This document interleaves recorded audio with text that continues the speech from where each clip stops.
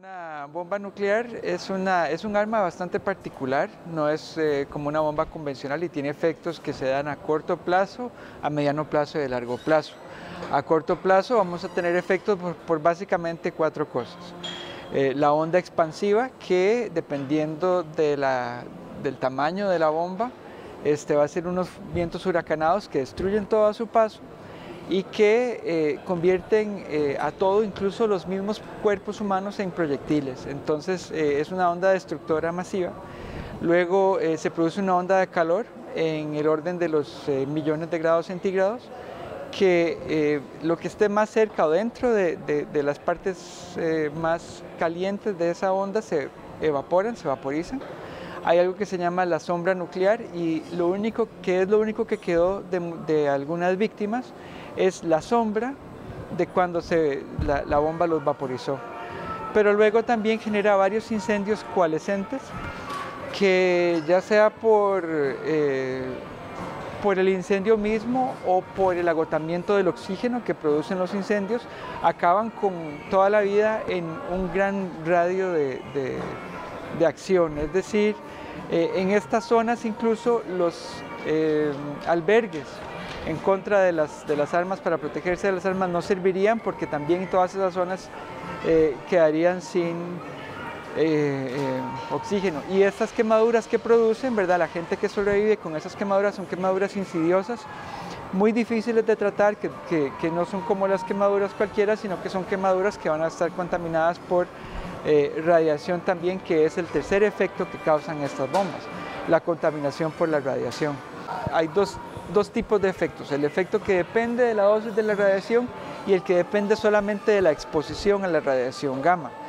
Eh, ante una exposición bastante grande los efectos pueden durar horas o, incluso días, hay una destrucción masiva de los órganos internos, del tracto digestivo, del sistema nervioso especialmente central y del sistema sanguíneo.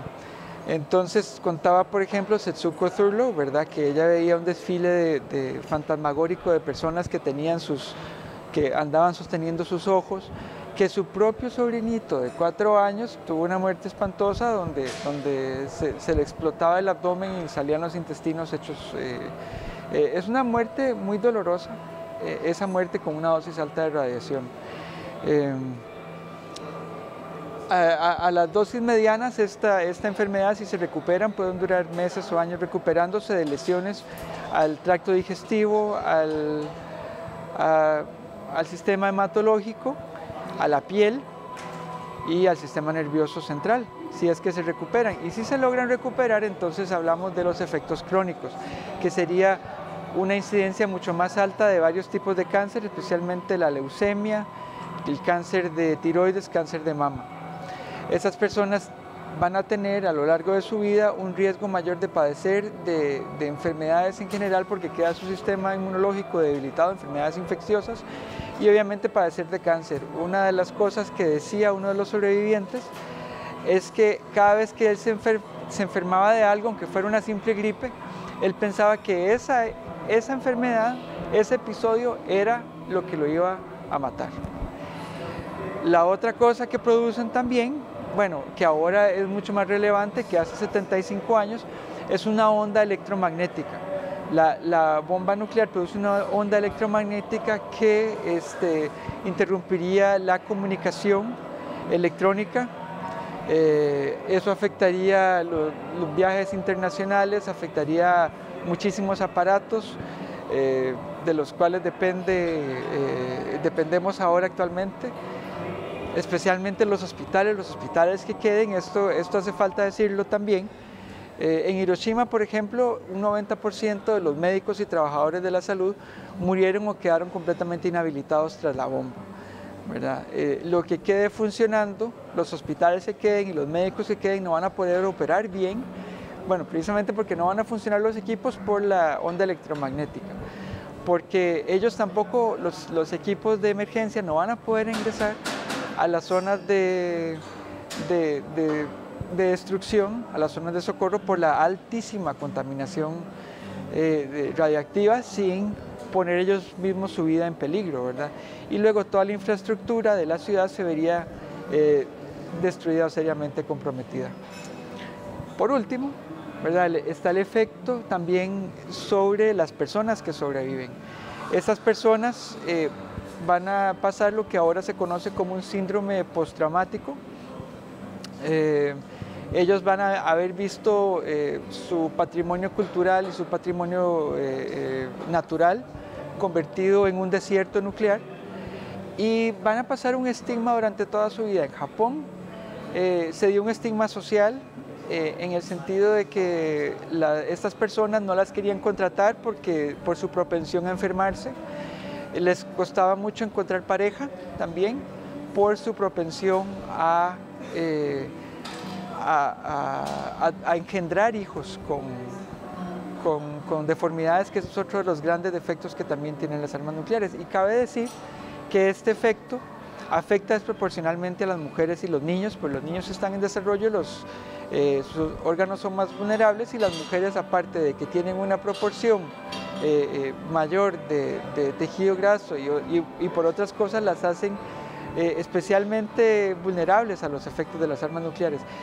Y si hablamos del estigma social, es precisamente las mujeres las que sufren más este estigma social, porque en las sociedades conservadoras las mujeres dependen de su capacidad para casarse para poder hacer una vida. Y si tienen un estigma del cual no se van a poder casar porque su capacidad de engendrar está afectada, engendrar hijos sanos está afectada, pues entonces eh, eh, eh, la pasan mal. Y son las mujeres también las que se encargan de cuidar a, los familiares enfermos. Son las madres también las que se han encargado precisamente de ser, de tener ese rol.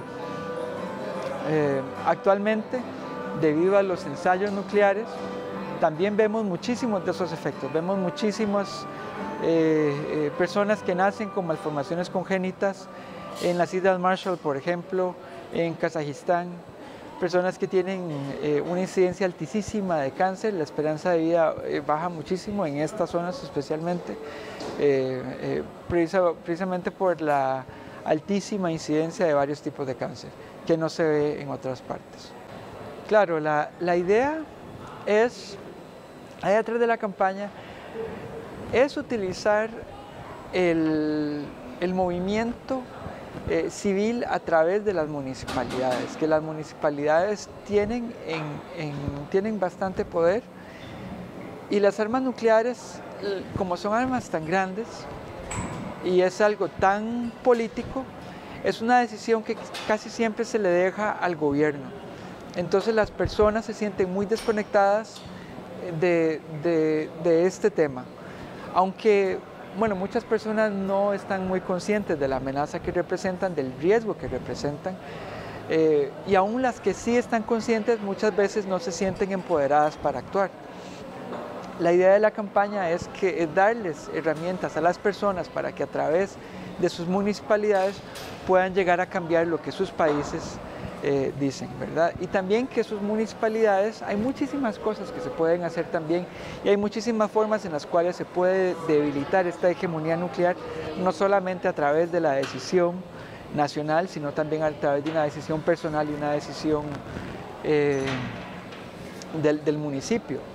El Tratado de Prohibición de Armas Nucleares que se negoció el año pasado precisamente así es como funciona.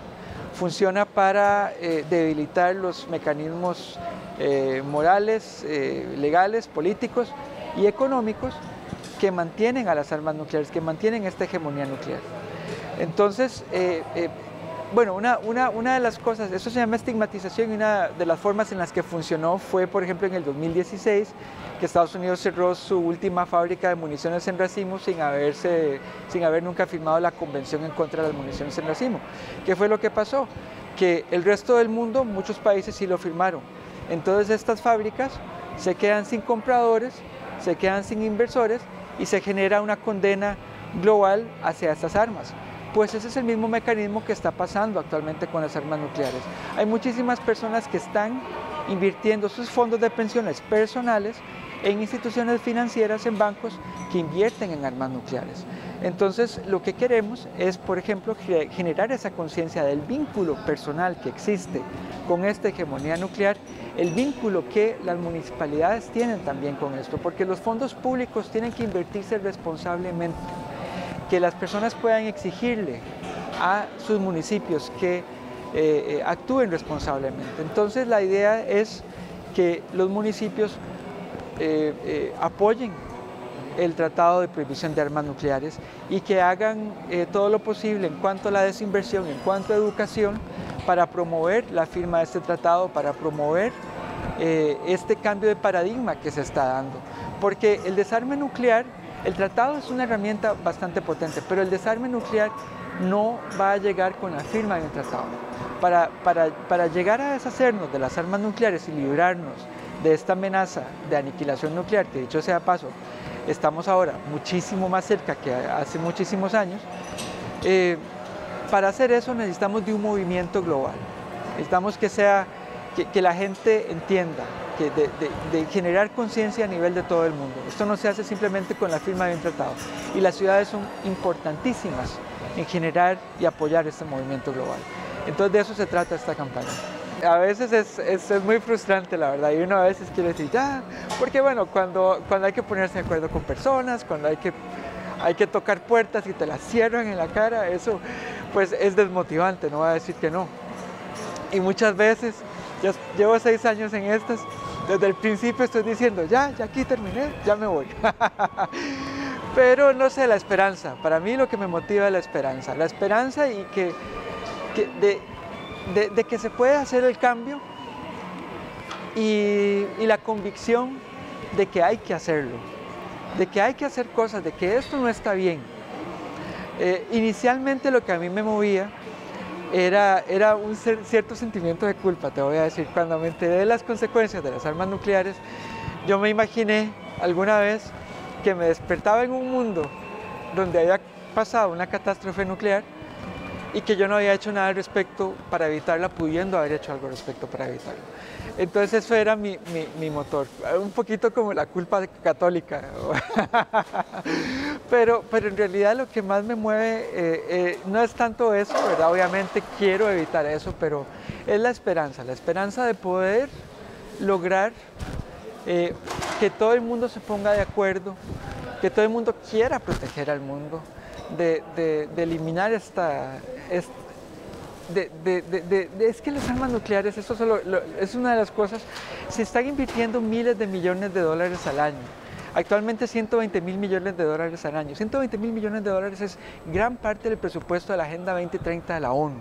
Es decir, estamos usando muchísima plata, la plata con la que podríamos estar eh, eh, librando al mundo enteramente de la hambruna, dándole educación primaria para absolutamente todo el mundo, es decir, mejorar la vida de absolutamente todos los habitantes del planeta Tierra, esos recursos los estamos utilizando para amenazarnos todos con aniquilarnos y para elevar el riesgo de que eso pase. Eh, que exista la posibilidad de que nos pongamos de acuerdo y las cosas se hagan bien, eso es en realidad lo que me motiva.